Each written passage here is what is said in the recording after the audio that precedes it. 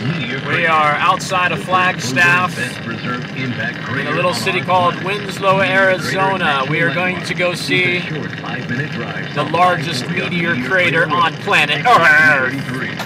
Dun, dun, Two and a dun. half miles around. What? 550 feet deep. 550 feet? feet across. Weather permitting, take the regularly Four scheduled thousand feet across. Wow. Arizona's official NASA test and training site. What do you guys think?